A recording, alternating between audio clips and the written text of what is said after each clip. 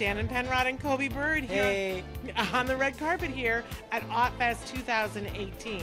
And Coby, you guys know Coby from The Good Doctor. He is doing our red carpet work today, Mm-hmm. uh, and I'm just absolutely loving being here with you, Coby. You're doing a, you're doing a great job. Tell me about your role in, in, in, in Atypical. Well, I play Casey, so I'm Sam's younger sister. Um, and I'm in high school. My character's a runner, and she absolutely loves her brother, but she really doesn't let him off the hook. She's Yeah. always Yeah. giving it to him. Yeah. Um, and have you uh, have you um, do you know anyone with auti- autism? Well, yeah, I mean, I do. I knew before, but now that we have all these actors with autism on the show, we've got to spend a lot of time together, and they're so wonderful. They're so lovely and kind and empathetic, and it's been really exciting. Yeah, yeah. I mean, yeah. I mean, it's it's, it's cool because actually, because now with the new season, we- like they're not being more included with with everyone, and it and it's and it's allowing people with disabilities to. To, to be to be able to be to, to be in to um to, to, to guest star. So have you learned more about autism over uh, over the time you've uh, you filmed in, in Atypical? Oh yeah, I've learned so much about it. I mean, not only just about like the experience of living with someone with autism, but about the community and how tight knit the autism community Yes. is, and how supportive everybody is of each other. Um, and it's it's so beautiful. I feel very very lucky to be on this show. Tell me about your role in, in Atypical. So I play Zahid, who's Sam's best friend.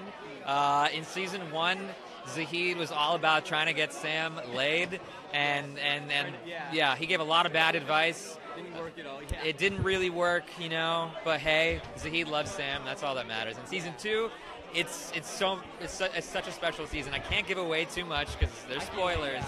But I think people are really gonna love it. Do you know anyone with autism? Yeah, yeah. So I, um, I'm a stand-up comedian as well, and I know a handful of stand-ups who are on the spectrum who, who talk about it in their comedy. And uh, you know, from this show, I've met so many more folks who are on the spectrum, and it's it's been such an incredible experience for me, as you know, a neurotypical who who who has some blind spots and had you know some misconceptions, and it's been such a you know it's been so beautiful to learn and grow and to be embraced by the community like this, and it's it's been really special.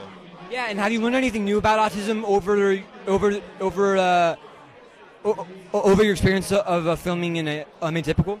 Yeah, you know, I think in season one, there's this moment where Sam says a lot of people think that people on the spectrum don't experience empathy, but they do.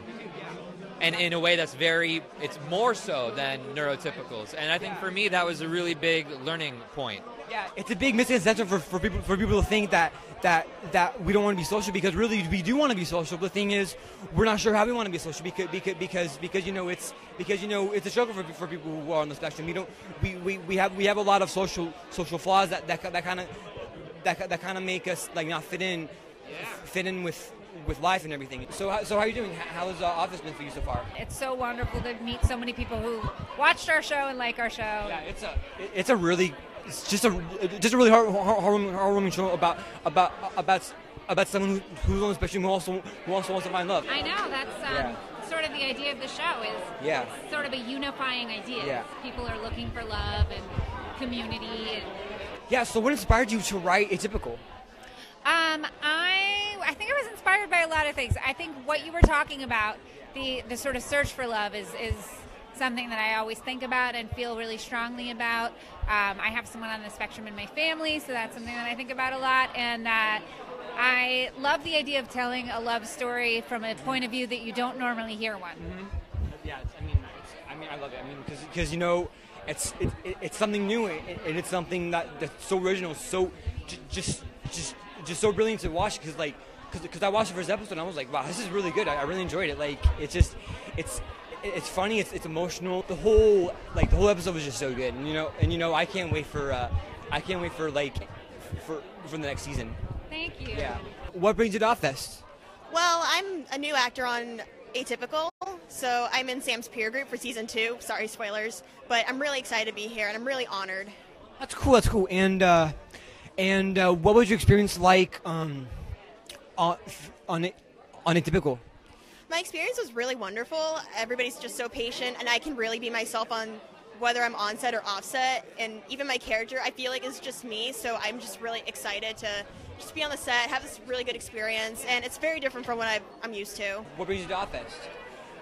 I got the role for Lily in Atypical. It was, it was so exciting, and I'm so happy and appreciative. Everyone's so, so much, so sweet, so supportive, friendly, and and it's just been amazing. I'm like so happy, blessed. That's great. Um, and um, Oh, sorry, I was gonna say one thing. Uh, I'm uh, also I'm I'm a singer. I'm a singer. I'm a singer songwriter and obviously obviously actress. that's wonderful. Um, and ha- and how did you prepare for the um for the role of um, Lillian? Was it? Lily. Yeah, yeah. I just did everything with my heart. Is, is there a message you want to give to people who have autism, um, who are who are possibly watching us? Yes, um, I would I would like to say that just be yourself. Don't don't don't care what anyone thinks about you. Just be yourself, and yeah, because no one's perfect, and there's no such thing as normal in the world.